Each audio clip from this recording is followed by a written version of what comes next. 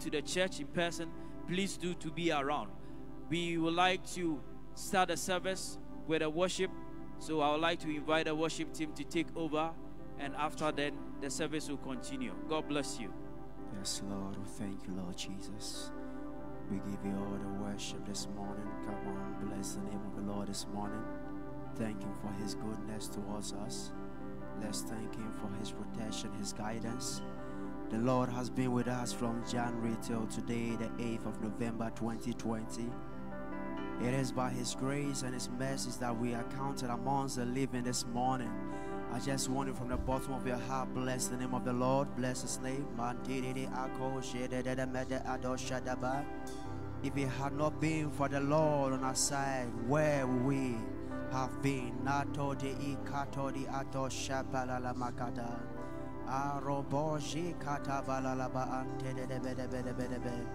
From the depth of our heart, Lord, we just want to say thank you. Thank you, Lord Jesus.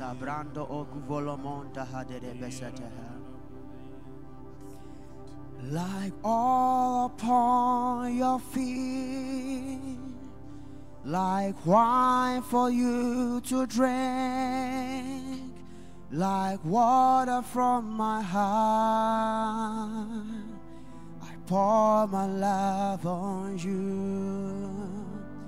If praise is like perfume, I'll lavish my on you till every drop is gone. I'll pour my love like oil, like oil upon your feet like wine for you to drink, like water from my heart. I pour my love on you. If praise is like perfume, I'll lavish my on you till every drop is gone. I'll pour like upon your feet, like wine for you to drink,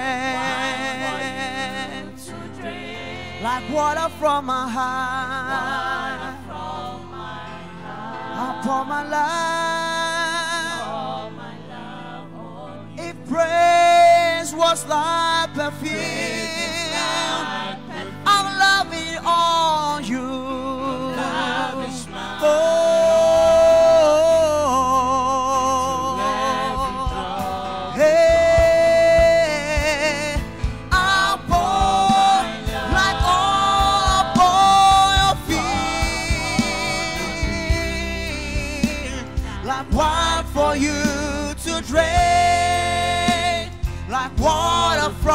my heart. I pour my love. If praise is like perfume, I'll lavish it all on you. Every drop is gone. I pour my love. I pour my love like all upon your feet, like wine from you to drink, like water from my heart. I pour my love on you. If praise was like perfume, I'll love it on you.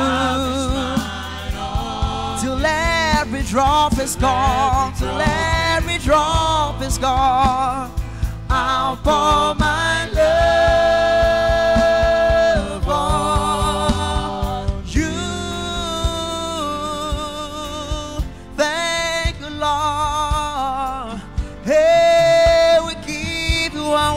this morning. We adore your holy name. There's none like you, God. There's none like you, Jesus. There's none like you.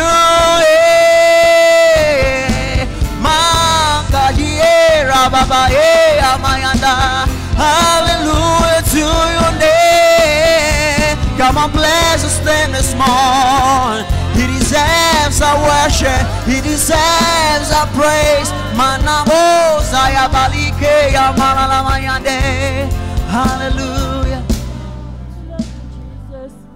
I love you, Lord. For your mercy never fails me all my days. I've been held in your hands from the moment that I wake up until I lay my head. I will sing all the goodness of God. I love your voice. I love your voice.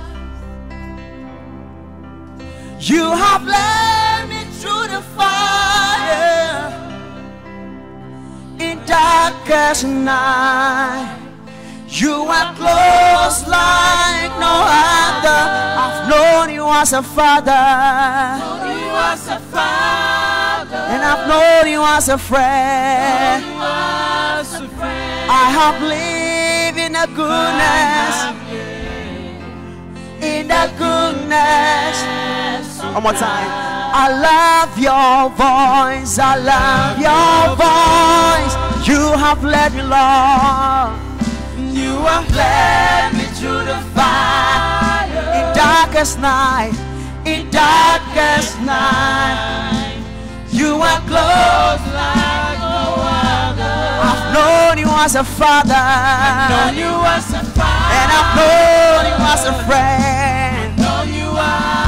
And I have lived, I have lived in a goodness all my life.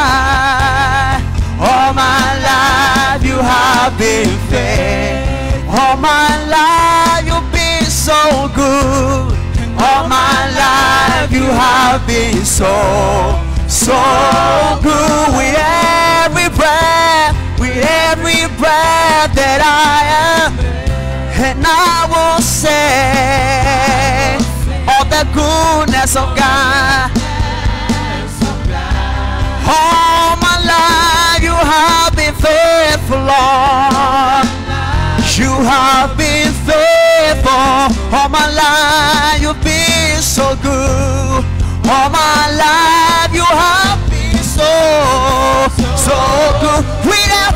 With that I'm able, I will say all the goodness. All my life you've been faithful to me, oh God.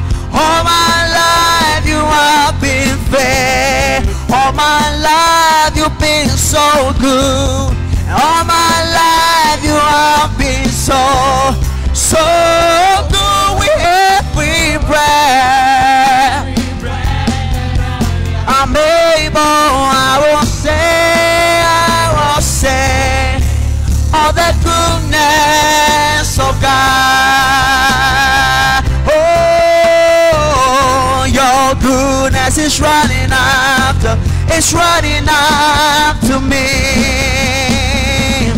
Your goodness is running after, it's running after me. With my life laid down, I surrender now. I give you everything. Your goodness is running after, it's running after. His goodness keeps running after us. Say it. Your goodness, it keeps running. Your goodness is running after us. It keeps chasing after me. It keeps chasing after me. Yeah.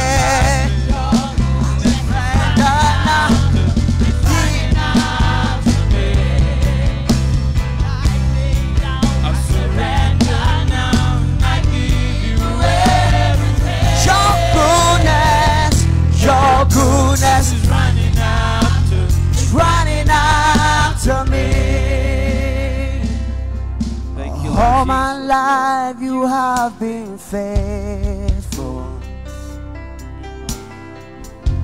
And all my life you have been so, so good.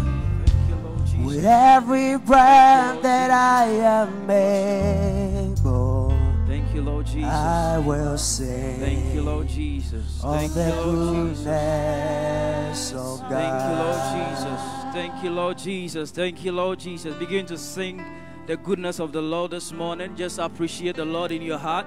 Just appreciate the Lord in your heart. Sing of His goodness this morning. Just say something to the Lord. Just worship Him in your heart. Worship Him in your heart. In just a few seconds, just worship the Lord. Just appreciate the Lord. Thank you, Lord Jesus, Lord. We are grateful, Lord. In Jesus' name, amen. Hallelujah. You can take your seat now. We we thank God for this morning and we are about taking our offering. So I'll entreat you to prepare your project offering as we bless the Lord with it. And I'll, if you are ready, let's pray. Father, in the name of Jesus, we thank you for this awesome opportunity to bless your work. We pray that, Lord, as this that we are given, let it be seeds that we are planted. And we pray that, Lord, may you receive it and bless it in Jesus' name. Amen. The worship team will lead us as we bring our offering. Here I am before you. Knowing that your perfect grace has brought me to this place.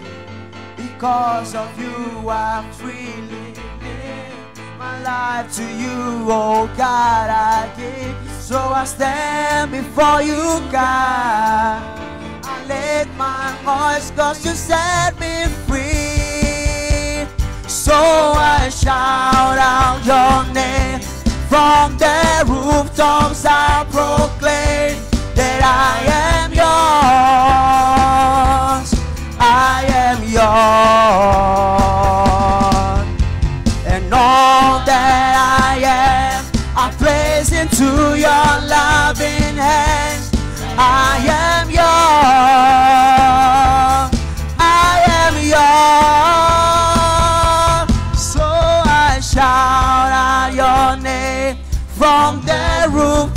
I proclaim that I am yours.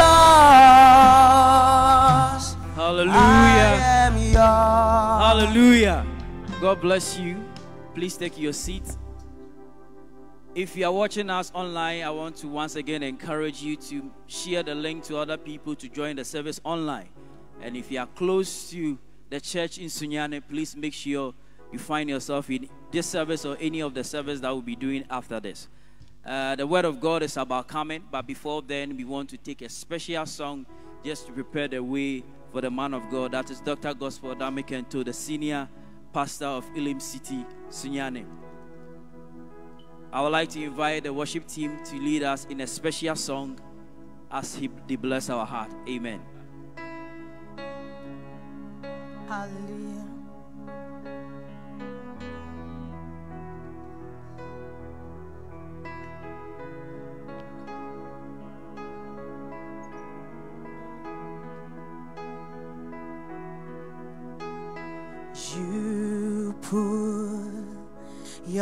Love on the line to bear the weight of sin that was mine. Mm.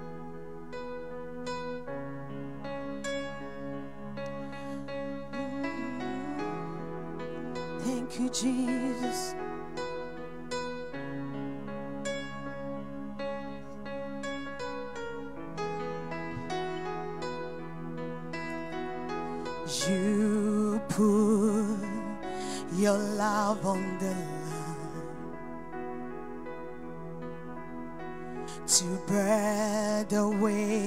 sin, thou was mine. Was in my rivers overflow. with arms held high, Lord, I give my life, knowing I'm found. allow forever. Wait all I am. In your grace I stand, the greatest of all.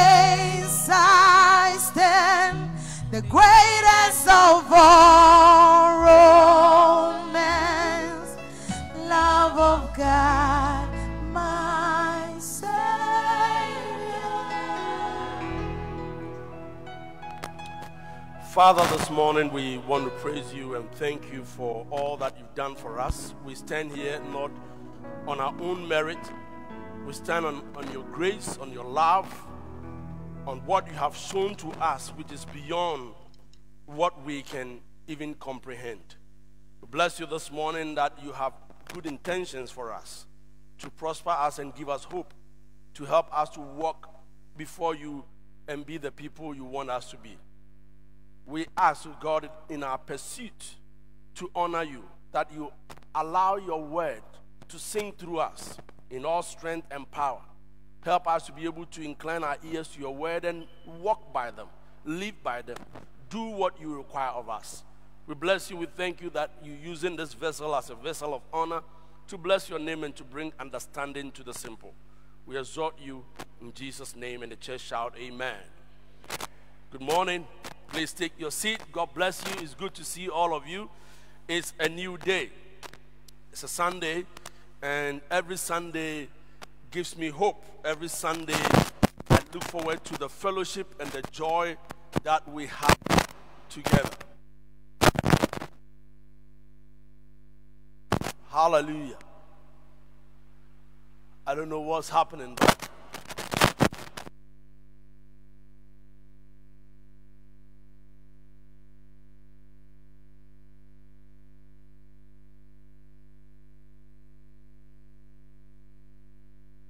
Praise the Lord. Hallelujah.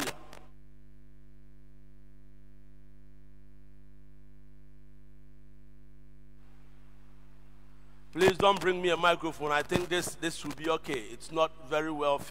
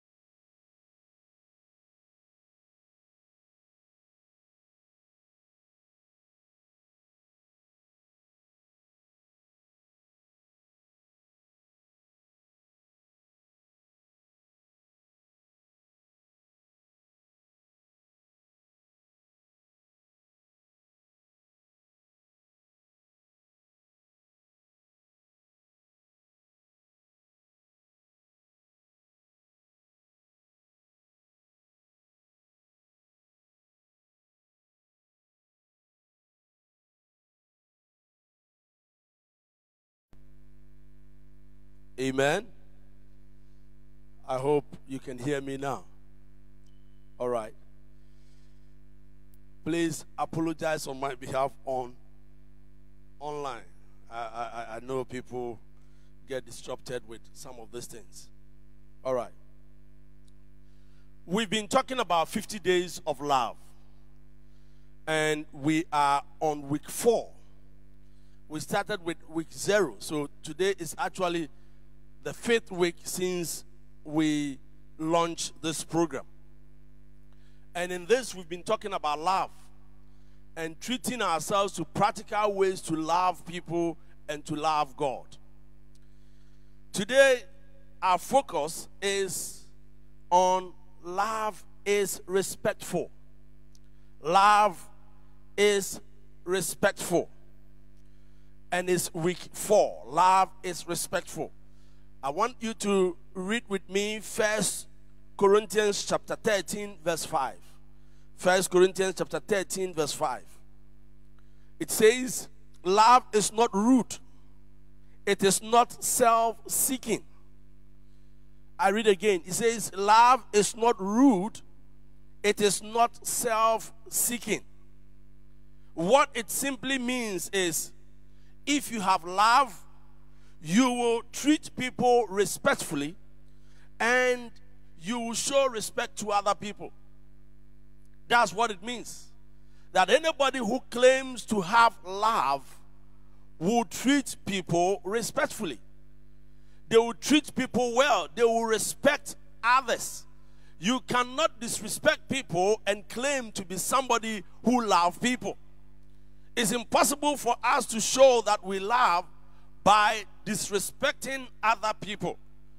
Because love is not rude. Love is not self-seeking. Love is respecting others. The idea of respect is not just ethical. Sometimes we think that it is ethical, it is just human to show respect to people. But the Bible talks a lot about it, so it goes beyond just being ethical. It is something that God requires of us. I believe that it is moral. It's important for us to be able to respect people. It's God's dream and vision for you and I it is required of us as Christians to be able to show respect. When you read through the Bible, you find out that the Bible talks about respect in several ways. I will not be able to talk about all that, but the few that I can bring to you this morning is what I'm going to make an attempt to bring to you. When you look at the third book of Moses, Leviticus chapter 19, you realize that respect is talked about in that book. In verse 3, particularly, the Bible says, Respect your father and your mother. And it goes on to say that I am the Lord your God. Respect your father and mother. So we have an obligation as Christians to respect our fathers and our mothers. That is what the Bible says. It's required of us to respect fathers and mothers. It also says in verse 32 that I command you to show respect for older people and to obey me with fear and trembling. So God says He commands us. We know what a command is. A command is not something that you can negotiate. A command is something that you have to carry out. It is an instruction. It is something that you have to obey and do. Especially in the army, when you are given a command, you cannot go and negotiate that. You have to make sure that you carry it out. And the Bible says that God said, I command you to show respect for older people. We all know who older people are. People who are older than us. Bible says it's a command that we should be able to respect them. And it says to obey me with fear and trembling. Here, God is also saying that obeying him in fear is a respect to God. When you obey God, you are respecting God. You are valuing who He is. You are really appreciating who God is. He said, Obey me with fear and trembling. So we have to also obey God to show our respect for Him. There are numerous examples that we can give throughout the Bible. One of them can be found in First Samuel chapter 2. A lot of you know the story that is written there. It's about Eli's two sons, Hophni and Phinehas. They were priests in the temple and they disrespected God by taking the chunk meat that people brought for sacrifice. They had special fork and they would go for the meat that was so fresh, the ones that they looked very good. That was what they would eat. The sacrifice that they are offering to God, they were also eating from it. And the Bible also says that they went about sleeping with the ladies that were in the temple or people that came to worship or serve God. They were making their selection. They had a fork and they had a choice. And I think that sometimes we also do that. We disrespect God in such ways, especially when it comes to church. I've realized that there are a lot of people who come to church. The moment they see a church, people gathered together, they think it's an opportunity for them to be able to have what they want. So they also come in with their agenda. They come with fork to pick up what they want. A lot of people come, they want to use the people for their own achievement and their own goal. They want to use the people for their own selfish ambition, and they come and they sow seeds of division and controversy among the people because everything is about them. People come to church with needs that have to be met. There's nothing wrong with that, but when it becomes you, then it means that you are disrespecting God. You want the best for yourself and not for God. Sometimes we even divert the cause of the church and the people that are in the church for our own interests. And this was the problem of Eli, Eli's two sons. And God told Eli, He said, Talk to your children, deal with them on what they're doing. He spoke to his children, but Bible says he did not restrain his children. So at the end, the two of them died at war, and Eli also died by hearing the news of the death of his children. Respecting God is very important. We have to have respect for God and we have to have respect for people. In Ephesians chapter 5, husbands and wives are told, they are encouraged to respect each other, mutual respect. You say, Pastor, well, they said the wife should respect the husband and the husband should love the wife. That is true, but read the whole context. Read the whole chapter and, and see what the Bible talks about. The understanding is mutual respect is needed, mutual love is also needed. We have to be able to respect and love each other as the Bible says. In Ephesians chapter 6, the Bible says slaves and masters should also have mutual respect. They should respect each other.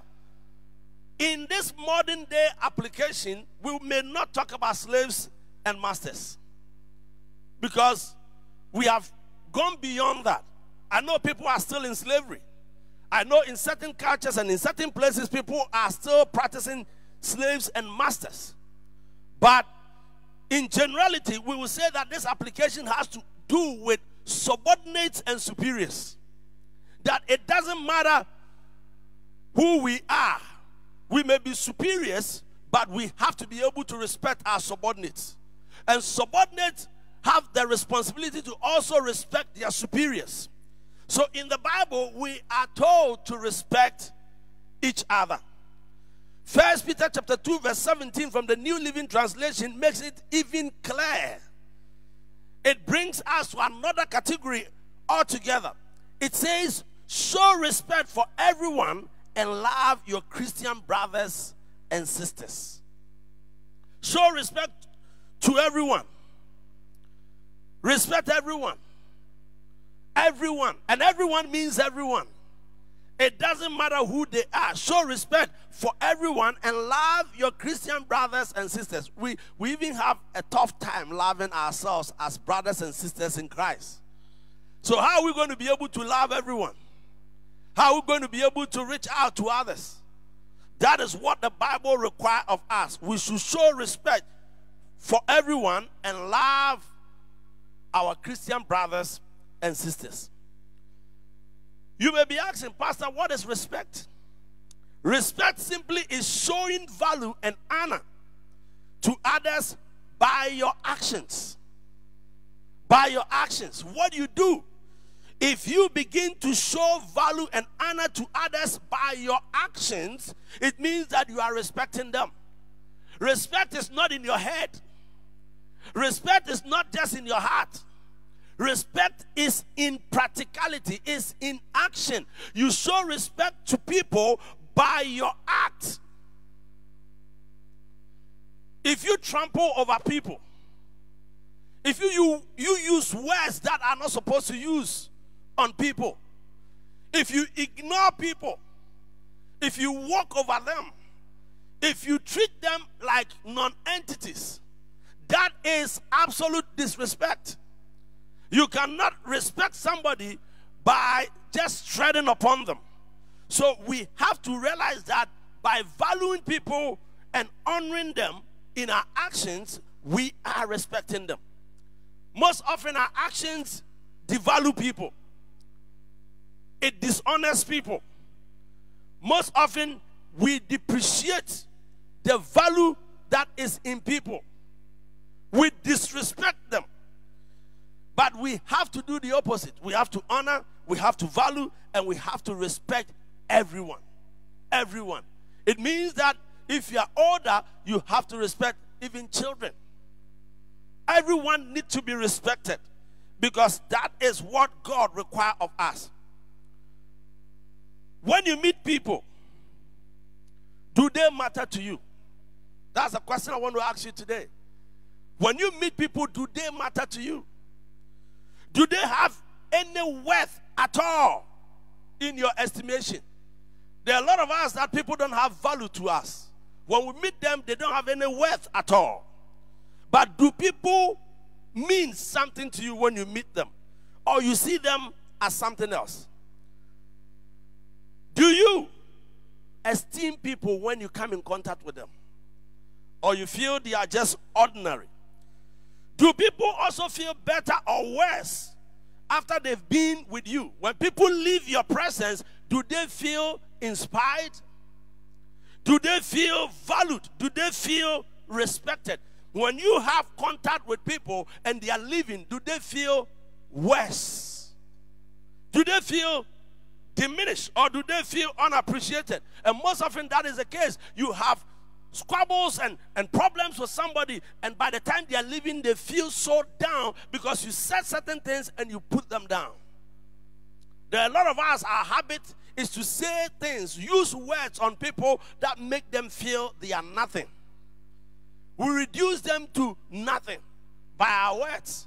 We just want them to know that they are nobodies that they don't qualify. They are not up to our standard. They don't have our qualification. They don't have our wisdom. They don't have our grace. They don't have the favor that we have. They don't know anybody. And we do that most often, sometimes unintentionally, but it is something that is in us that is rolled out. So when people leave your presence, how do they feel? Do you tear them apart? I'm not saying that if people are wrong, don't correct them. But the means of correction has to be proper, it has to show respect. And even when we correct them, we have to be able to encourage them and build them up, knowing that they are able to rise up above their limitation. We don't leave them open doors and they go with a different mindset that they are not valued or respected. We have to show respect to people. It is by this way that you and I can determine whether we respect people or not. Do people want to draw closer to you? Or anytime they see you, they are drawing away because they know you're going to say something or do something that will make them feel they are nobody.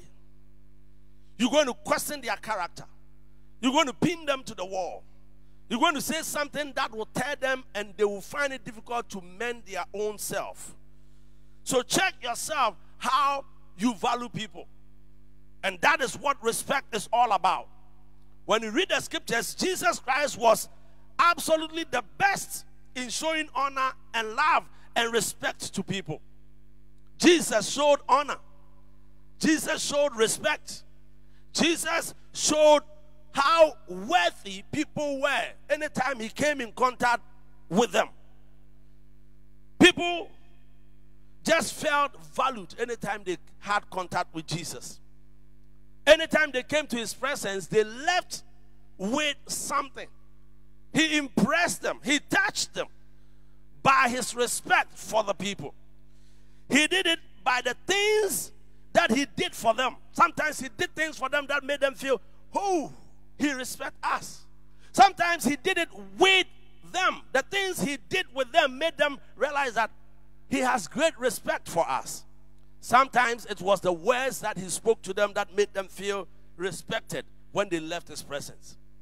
And with that, when you go through Jesus' life, you can come across numerous examples on how he respected people and how his contact with people transformed the lives of the people. I can talk about Luke chapter 19. In Luke chapter 19, Bible says that Jesus was walking through Jericho. And while he was walking through Jericho, there was this rich man who, through dubious means, had made wealth. A man that was a tax collector known as Zacchaeus. And he heard that Jesus was coming his way. And what did he do? Because he wanted to see Jesus, he ran ahead. He knew the limitation in his life. Bible says that he was a short man. So he ran ahead. He knew that the only way he could see Jesus was to climb a tree. So he went up on a sycamore tree. And when Jesus was walking, he got right where the tree was, and Jesus looked up and said, Zacchaeus, come down. I must spend the day in your house. I will stay in your home. And it was a transformation point for Zacchaeus. Why? Because, first of all, he was classified as a sinner. Everybody knew him to be a person who was a fraudster. He was a cheater. He was somebody who took money from people. He was somebody who took beyond what was expected in taxation. So he had been classified as a person who was not clean by the people. So he didn't have any moral right to have contact with Jesus, the Holy Son of God. That was not going to be allowed. So that was his first limitation. His second limitation, by his own realization, he was short. He felt he didn't have what it takes to be able to see Jesus. He saw that limitation in himself. Physically, he didn't have the height. So these two things disqualified him from seeing Jesus, but he made an effort. He climbed a tree. And while he was there, Jesus called on him to come down. And he said, Don't just come down. I'm going to spend the day in your house. I'm going to stay in your home, irrespective of what people think about you as a sinner, as somebody who is not qualified. I am God's son, I am God Himself, and I'm going to identify myself with you. And it made Zacchaeus feel great. Awesome. How do you feel when everybody condemns you and God comes around and says, You are a lovely child of mine? How do you feel when everybody says you're a sinner and God comes and says, You are so dear to my heart? And that is what Jesus did. Bible says immediately the man encountered this. Zacchaeus encountered this. He said, Lord, I give half of my wealth, half of my possession to the poor. Nobody asked him to do that. He was touched by the value that was placed on him. The respect for him made him make a decision. He said, I give half of my possession to the poor restitution was in place. And he said, If I have defrauded anybody, I want to quadruple it and give it back to the person. Anybody that I've cheated, I am ready. Nobody asked him to make those confessions. But when we show love to people, we show them the love of God. When we show respect to people, we open them up for the touch of God, and miracles happen in their lives. There are a lot of people that make the gospel a weapon to beat up people. The gospel is not a weapon to tear people down. The gospel is a weapon of grace to lift people and put them on a platform. I believe that a lot of the times when we begin to preach fire and brimstone, like John the Baptist who ate locusts and, and drank honey, and shouted, Repent for the kingdom of God. And today we have people who feel the message has to come in that way. But the man he introduced, Jesus himself came and he said, You are a sinner, but I'm going to spend the night in your house. Let me tell you, when we show respect and love and show the grace of God, is able to have a lasting conviction on people than when we put fear in them. When you put fear in them, fear cannot be something that can guarantee the life of people forever. One day that fear will be broken. But love will always be at work. When we show the love, and Jesus showed this love, and Zacchaeus said, I change. I have so much love that I have no choice than to change. I'm not being condemned by the master himself, so I want to change. And that was how Jesus operated. He respected people.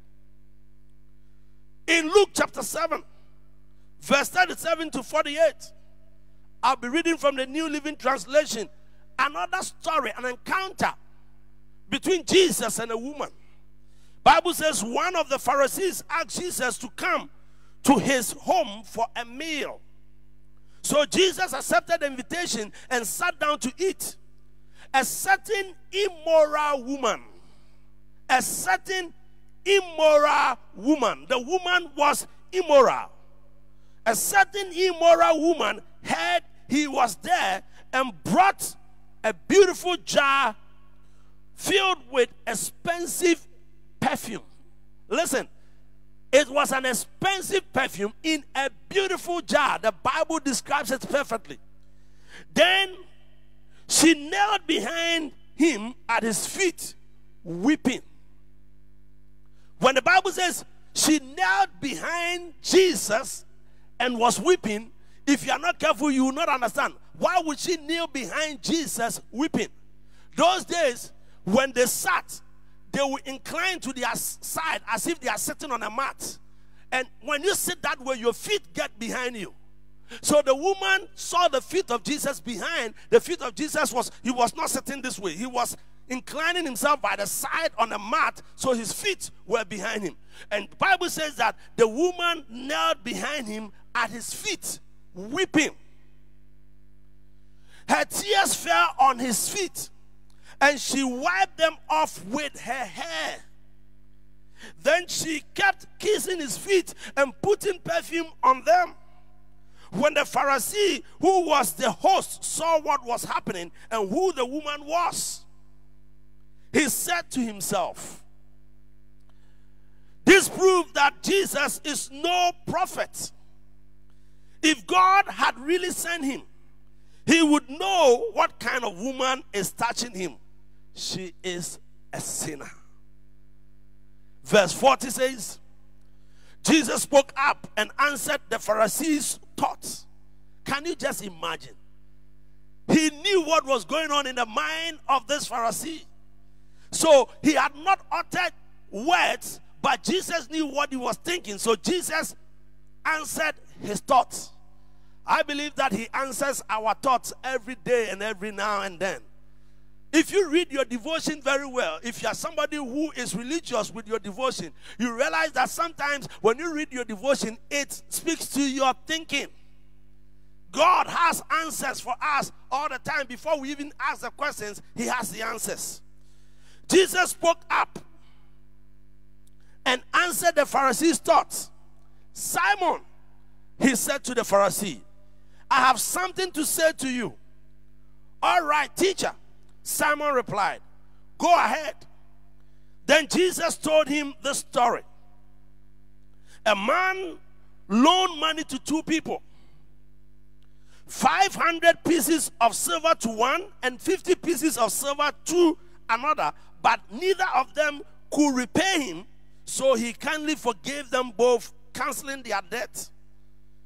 Simon, who do you suppose loved him more after that? Simon answered, I suppose the one for whom he canceled the larger debt. That's right, Jesus said.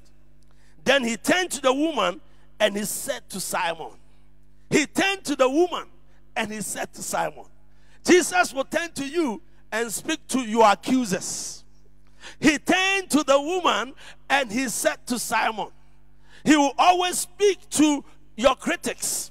He turned to Simon and he spoke. He turned to the woman and spoke to Simon. You didn't offer me water to wash the dust from my feet. This was just a common courtesy. The man was a bad host. but she's washed them with her hair. You didn't give me a kiss of greeting. That was also a common courtesy. But she has kissed my feet again and again from the first time I came in. You neglected the courtesy of olive oil to anoint my head, but she's anointed my feet with pure or rare perfume. I tell you, Simon, her sins, though they are many, her sins, though are many, have been forgiven. And so she loves me much. But a person who is forgiven little shows only a little love. Then Jesus said to the woman, Your sins are forgiven. This is an amazing story. A woman that was disqualified by society, standing before the King of Kings and showing all the courteous acts that the host, a Pharisee, who's supposed to be a religious person, had neglected. Sometimes we will be so religious that we don't honor God and respect God the way we should. Being religious doesn't mean that you are honoring God. We have to be able to be conscious and deliberately honor God and respect Him. This woman, being a sinner, came and at the feet of Jesus, she started crying and wiping his feet, the feet of dust, with her hair. You know that the hair of every woman is her treasure. Women that are here, you know how precious your hair is. That's why you go to the salon every now and then. That's why it takes three hours, four hours, six hours for you to sit down for somebody to plait your hair. Sometimes you finish and you can't even turn your neck, but you still want to keep it. Why? Because your hair is so important, it adds to your beauty. And this woman comes and she brings her beauty and everything to the feet of Jesus and use it as a rag and wipe the feet of Jesus with tears. And Bible says she kept kissing his feet and kept anointing the feet of Jesus. And the people knew that she was a sinner. If this had happened in our day, it would have appeared in all the news in the world. He said he's a prophet. He said he's a man of God. He is the first person to know who this woman is. She is a sinner, an immoral woman, a woman that is in probably prostitution or something. She was so degraded in society that nobody respected her. And yet, she was at the feet of Jesus, touching Jesus, kissing Jesus, wiping the feet of Jesus. And the people said, Look at this man. He's enjoying services from somebody who is immoral. They even saw it beyond service. He was romancing the feet of Jesus, probably. And he said, You're a prophet and you're enjoying it. It was so questionable in the, in the mind of even the host. And Jesus had to address the situation. To him, that much is given, much is expected. Her sins were so much, and they had been forgiven her, so she valued what had been forgiven her. When you come to the presence of God, sometimes you find people, what we are worshiping, they don't even know what to do because they don't even know what God has done. My friend, if you will be able to bring your mind and your conscience to the understanding of what God has done in your life, you will weep. You will kneel down, you roll over. You will not just be looking around when we are worshiping. You will not be taking a phone call. You will not be running out and in of the church whilst worship is going on because you see it as a solemn moment to express your love and your respect to God. How do you respect God? By worshiping Him and taking a mobile phone call. How do you respect God? By just looking at people, becoming a spectator instead of becoming a worshiper. It depends on what He's done in your life and how much you respect and value God. If you respect and value God, when you come to His presence, your attitude will be ordered by your own beliefs. We have to be able to show that respect to God. There are about four invisible signs of respect that are in this story that need to be replicated. Anytime you and I come in contact with people, about four things that we have to do when we come in contact with people as far as respect is concerned. One, stop talking and listen. Stop. Stop talking and listen. From this story, you realize that Jesus was a wonderful listener. He was listening. I believe that he was listening to the woman and he was also listening to Simon the Pharisee. Although they were not talking, Jesus was listening. He could read their thoughts.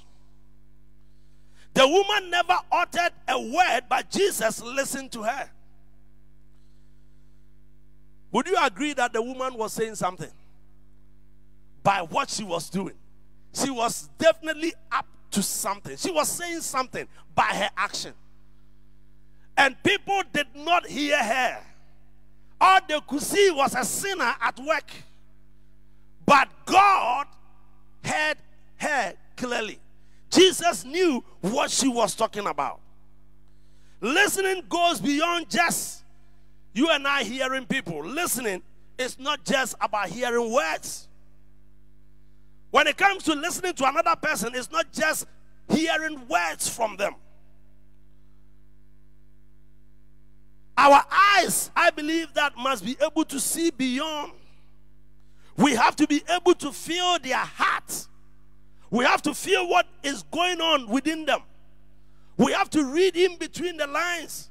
We have to listen in to the moment of silence that is going on. In silence, sometimes there's a voice. We have to listen. We have to listen. If we don't listen to people and we only want to hear words, we will not be able to know what's going on. So open your eyes and look beyond words. Look at the heart of people. If people are bleeding, you know. If they are happy, you know. If they are sad, you know by listening to them. Listen to what they say and listen to the hurt behind. Listen to the anger behind. Listen to what they have, the reason behind the reason. Jesus had that. He was able to listen. The woman was speaking so loudly in her tears and in her service to Christ. Sometimes people speak with their service. Sometimes people speak with their tears. You ask them a question and they start crying, they don't say anything. And the crying has a language, it has a voice. Sometimes people are serving, and the quality of their service and their dedication to what they are doing speaks volumes. We have to listen. And Jesus knew that something was happening. She was washing the feet of Jesus with her tears, wiping them with her hair kissing the feet over and over again. If this is not a voice, then I don't know what a voice is. It's an invisible voice, it's a language that only people who listen carefully can understand. She spoke to Jesus, and Jesus understood. She had a message, but it seems only Jesus could hear her. Other people could not hear. Only Jesus was the one that was listening, and that was why he was the only person who heard. If you and I will listen, we will also hear. If we will listen, we will hear the heartbeat of people, we will hear the heartbeat of God. We will know what God wants us to do if we will listen. Paul wrote to the church in Corinth. He wrote to the Corinthians and congratulated them on the experience of his friend Titus. Because Titus visited and came back with news. And Paul wrote to them and congratulated them for their way of dealing with Titus. In 2 Corinthians chapter 7, verse 15, the New Living Translation says, Titus remembers the way you listened to him and welcomed him with such respect and deep concern. Why would Titus feel respected and feel that they were of concern concerning him? It was the way they welcomed him and the way they listened to him. When people listen to you, you feel valued. When people listen, take their time to listen to you, you feel that you are respected. When they ignore you and they don't listen to you, it makes you feel disrespected. And Titus was listened to, he felt that respect. Do people around you feel respected because you listen to them or because you didn't listen, they feel disrespected. A lot of time we don't care what we what people think or what they go through. Sometimes we keep talking, talking, talking, and don't listen. And it's like the people want to tell us, shut up and listen. Shut up. Somebody start telling you about their situation, and you, you say, Oh, I know. I know. Have you met somebody when you are talking to them? Oh, I know. I know. Yes, yes, I know. You know everything. Shut up and listen. Just pay attention and listen. Don't interrupt their words. Don't feed them with words. Don't continue their statements. Allow them to be themselves. Let them speak. Listen. Open your ears, your eyes, your heart, and listen to people because that's the only way they're going to feel valued. If we don't listen, they will not feel valued. Let's learn to shut up and listen to other people. Often in conversation, you know what we do? When we are having conversation, the only time we pause is when we pause to take a fresh breath. So uh, you are talking and, and you're taking a fresh breath. That's the only time you pause. The only time you pause is when you have to think about what you have to say next. Because you are always talking and talking and talking and talking. And when we keep talking like that, people feel disrespected because they are not able to have the chance to talk. Have you been in a small group when you are having discussion and it looks like one person wants to talk all the time and the others don't feel the freedom to speak? They feel disrespected. Anytime we are speaking, we want to also be heard. Have you been in the presence of someone and they just gave it to you and they didn't allow you to say anything and they dismiss you? You go back feeling disrespected.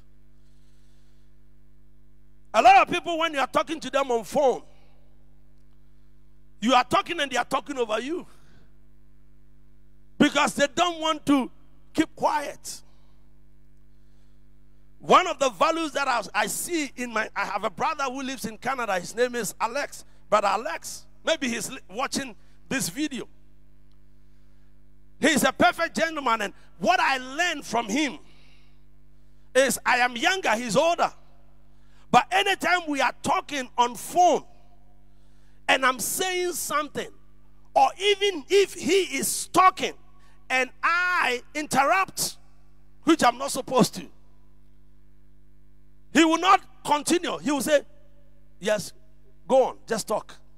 He will always give me the room to talk. He always want to say, You talk first. He always has the courtesy to let you talk. The moment he gets interrupted, he, he holds on for you to say what you want to say before he comes out to speak. Because what is important is you have to let your listener or somebody you're conversing with have respect, have some value, have that feeling of they are respected. And he does that all the time. And we have to do the same. Do we want to be heard? So we scream over the other person. And we stop them from talking because we have to be talking. It's a sign of respect. The second thing, keep your promises. Keep your promises. The way of showing respect to people is for us to keep our promises. Let's not do any U turn. Let's keep our promises.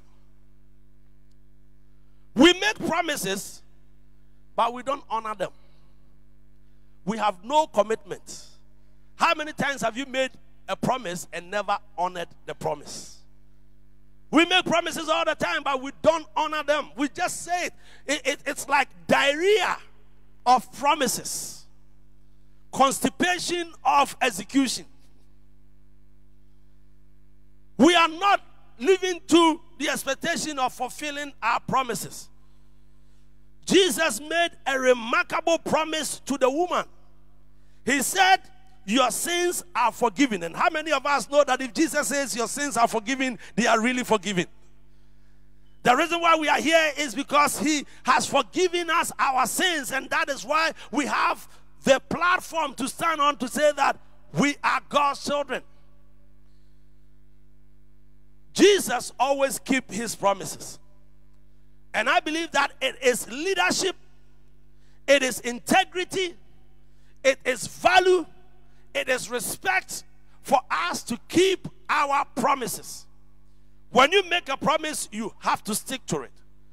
Have you ever had someone break a promise they made to you?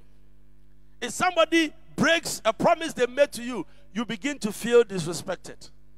You feel they don't respect you at all. Why would they tell you this and do something else? You feel that you are rejected. You feel that you are dishonored. You feel that you are disconnected because they didn't fulfill their promise to you. And many times that is what we do. Even in our meetings with people, you, you set time to meet somebody and they come an hour late. And they expect you to be feeling, oh, I'm honored to meet you. As a pastor, sometimes I have counseling appointment with people and they don't call, they don't show up, and they come two hours later and they just walk into your office and they say, I have come. And you know you have another appointment which is also ready. The moment you tell them, I cannot meet you, your time is past, they think you are proud. But they, they didn't call two hours late. When you have meetings with people and they don't honor the time, they disrespect you. I, I wonder how God feels in heaven when it comes to church service. Because when I was growing up in the church that I was attending, we were given this idea that anytime the church sets time to meet, that we are meeting nine o'clock, angels are dispatched to the place exactly nine o'clock. That's what we were told. So can you just imagine that we are starting a service at 7 and you show up at 7:45? It means that you have disrespected God and the angels and everybody that came for that meeting. So how do you feel God feels when it comes to our honoring of our promise of time? We don't show up. Sunday morning, I believe God expects us to be in church so you have contact with us. We don't show up. Any little excuse takes us away from the presence of God. We don't show up. Does God feel respected on this? Well, I don't know. You can answer for yourself. People feel disrespected because we don't honor them in terms of time. And God, I believe, also feel disrespected. Do you realize that in the African culture, in our setting, it is told that the person who comes late is the most important person. So, in a function, everybody will sit down and the president will be the last person to come. The moment he comes, the program starts. Everybody is waiting for the president. I have seen a number of prophetic meetings that the people keep singing and dancing, keep singing and dancing while the prophet is in the house. And if the meeting starts at 7 p.m., he comes 11. And everybody is waiting for him because he is the man of God coming to prophesy. So when he comes, he starts his own worship. He now want to lead you in the presence of God. And before you know, the service is into midnight and it keeps going. In our African setting, we feel like kings and queens anytime we have an appointment with somebody or we have an appointment with God. And we make these people feel disrespected because we are not there on the time that is set and agreed on. And I don't think that is an honor. I think that is dishonor. We have to respect people and we have to respect God.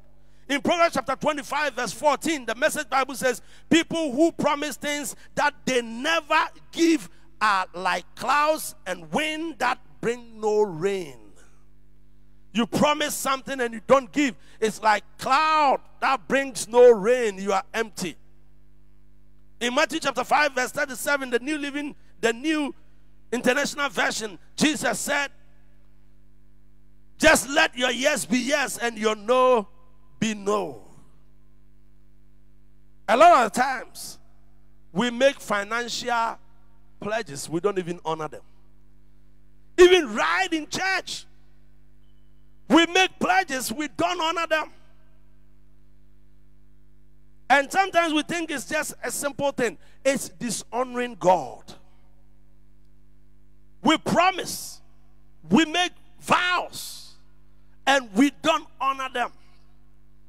I would think it's okay. Any promise and vow you make financially in the house of God, you are not making it to a man, you are making it to God. And if you don't honor it, you are disrespecting God. That is how we have to see it. Sometimes we are waiting for us to be prompted, we are waiting for somebody to chase us. The moment you make the promise is between you and God, and you have to honor it because it is unto God. Most of the time, we break our promises because we make them hastily. When you make a hasty promise, you're going to break them. You need to look at your schedule and look at the possibility of what is going to happen and what may not happen before you make a promise. You don't make promises and not honor them. Proverbs chapter 3, verse 21 and 22, the New Living Translation says that God good planning and insight and insight fill you with life and they bring you honor and respect. Good planning and insight fill you with life and they bring you honor and respect. Have you ever noticed that children feel very honored when they are when you make promises to them and you fulfill it. Children thrive on promises. When it's getting to Christmas, they want to take a promise of this what you buy, this what you do. When you promise a child toffee, they will hold you accountable. Because they will chase you until you said you said you do this. Because promises are important to them, and when you honor them by doing what you said you do, they have great respect for you. If you don't honor them, anytime you promise, you say, oh, you, you tell lies. They may be children, but they may not respect you because children always want promises to be fulfilled. And that is how our relationships must be. We must always honor our promises. When you look at all that we're talking about, we can see through the Bible and all that we're saying that God models the ideal way of fulfilling promises that He has made. When God promises something, He honors it. During the flood, He promised Noah that he will not destroy the earth again with water. And he gave the rainbow as a sign that anytime you see this, it means I'm living to my expectation. God honors what he says. Abraham, 99 years old, his wife, 89 years old, a weak man, old man, and God promises them a child, and God comes through. He was 100 and he had a son. Because God will fulfill what He has said. God said He will give us a Savior to forgive us our sins and to reconnect us back to Him through the Old Testament. And in the New Testament, we see the coming of Jesus.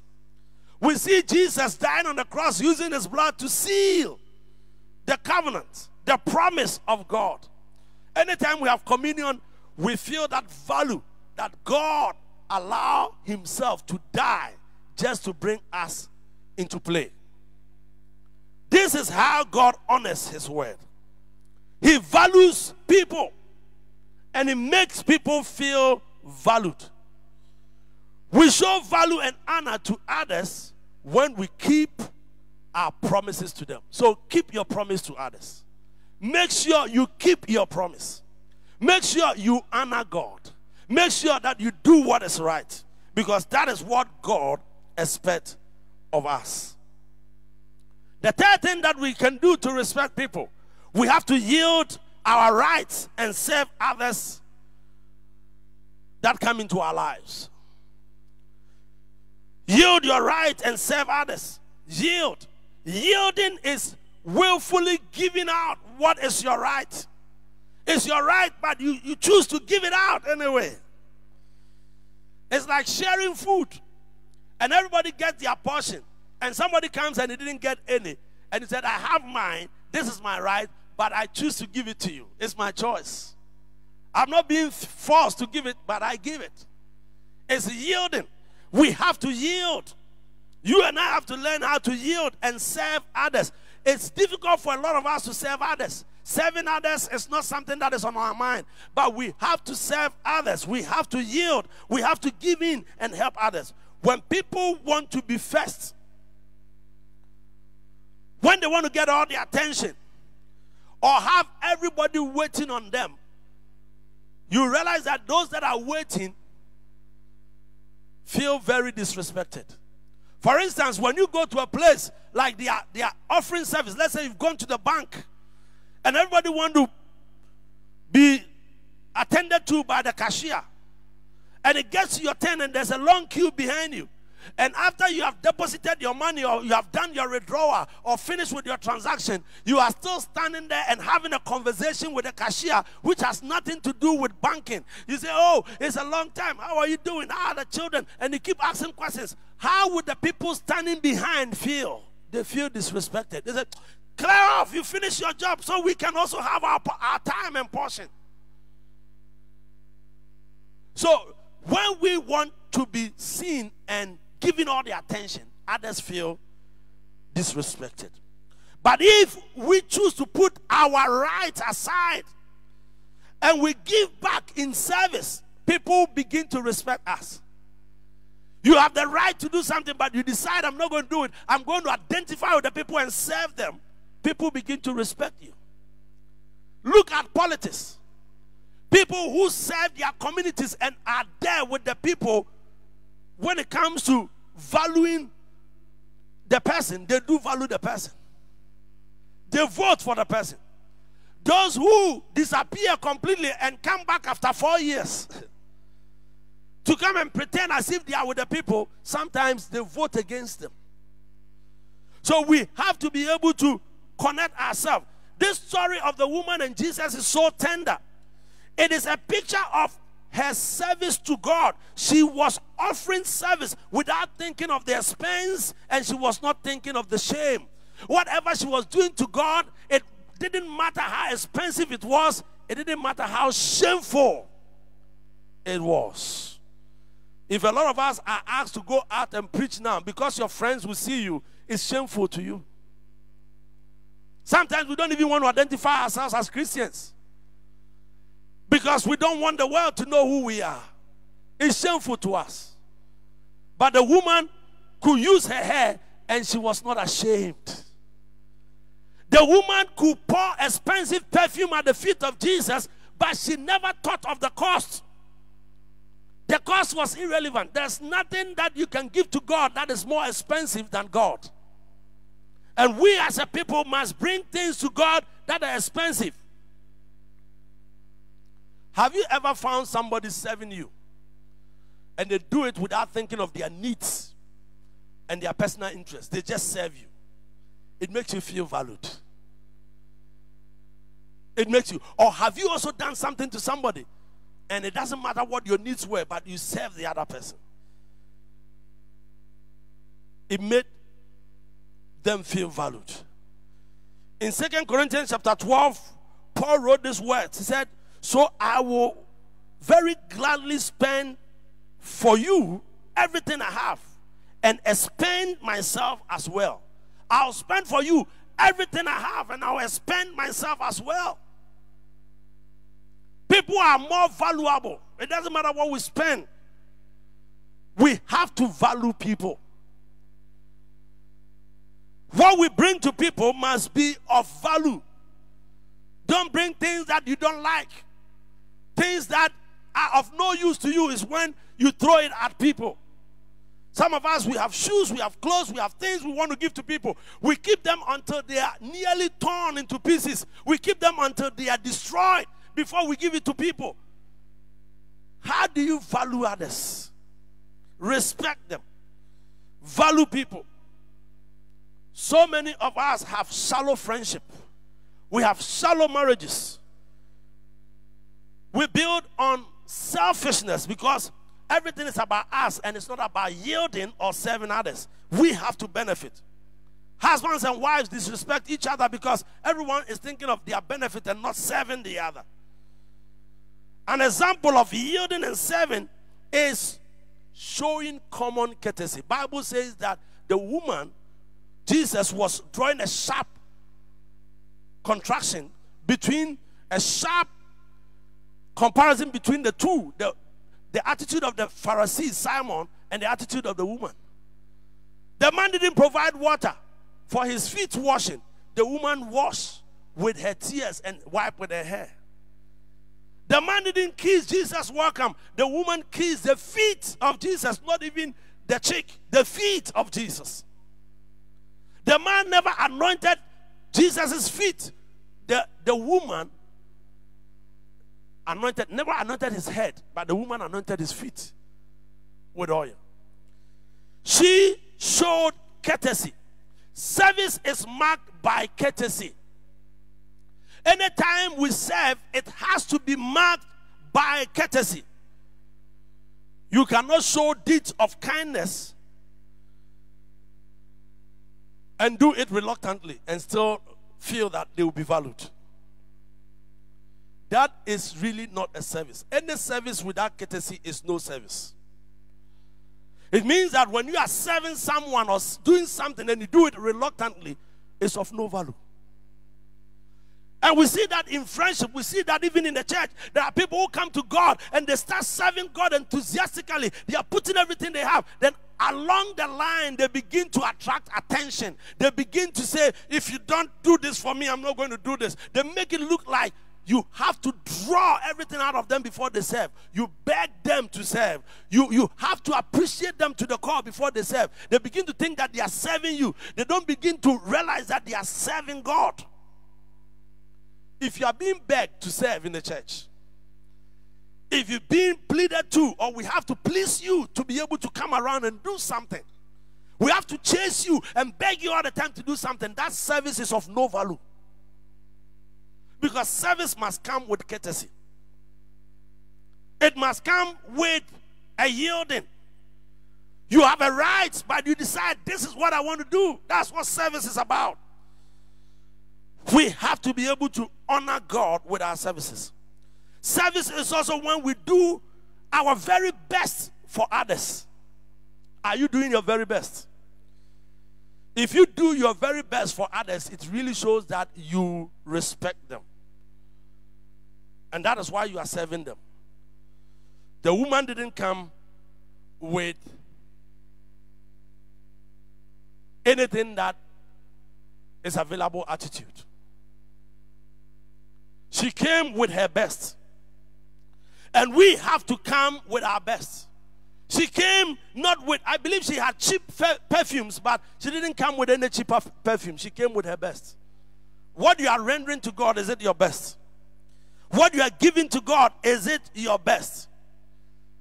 The Bible talks about we giving our best to the Lord. In Malachi chapter 1, verse 6 to 8, the Bible says that the Lord Almighty says, I am your father and master. But where are the honor and the respect that I deserve? You are you have despised my name. You have how have we despised your name? And God says, You've despised my name by offering defiled sacrifices. And the people said, How have we done that? Here's an example. Instead of feeling the best lamb or giving God what is the best, these people will look for anything that is crippled or has no value. And that is what they give. They look for sick animals and they give to God.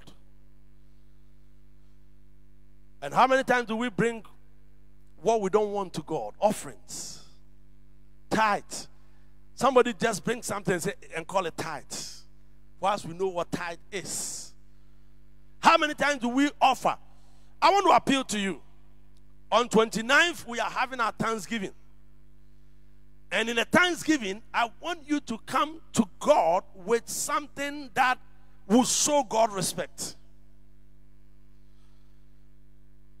I'm trusting God for 50 people in this church that will give a thousand and beyond. Because what God has done for you, you will take a loan and build your house. You take a loan and buy a car. You take a loan and do something. If you know that God has preserved your life, it doesn't matter what you would do to be able to honor Him. And I'm trusting that I will get not less than 50 people in this house that will give a thousand and beyond and say, We want to honor God. I want to see 50 people and beyond that will say, We want to give 500 and above. I want us to come with, with this mindset that we want to honor God on 29th of November.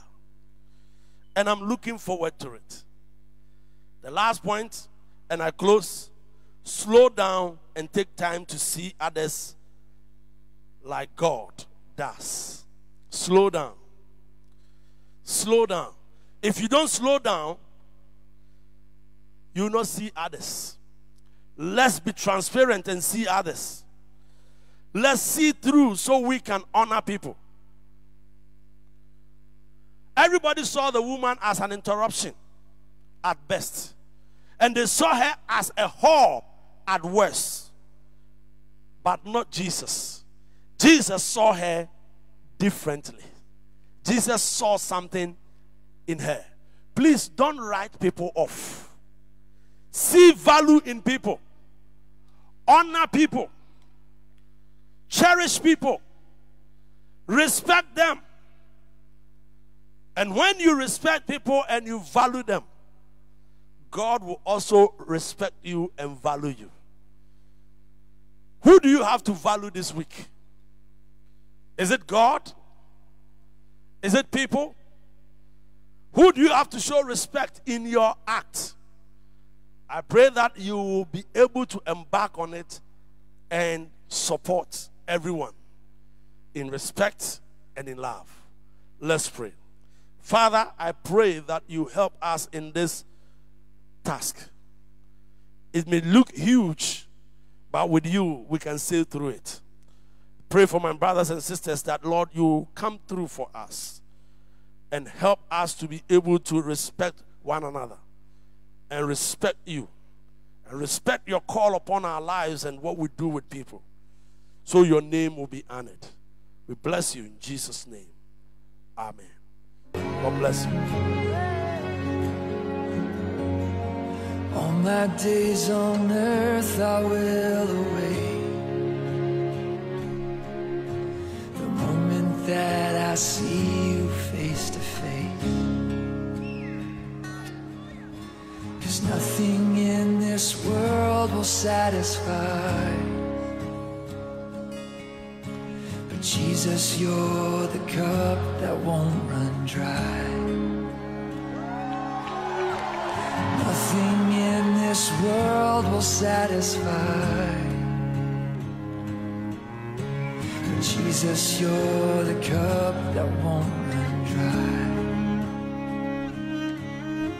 Jesus, you're the cup that won't run dry.